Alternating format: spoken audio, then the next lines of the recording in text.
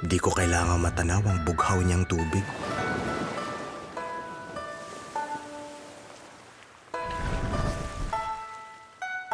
Hindi ko kailangan sumisid sa malalim niyang mundo. Natikman ko na ang yaman ng dagat. Nalunod ako sa sarap ng Nisin Seafood from Nisin.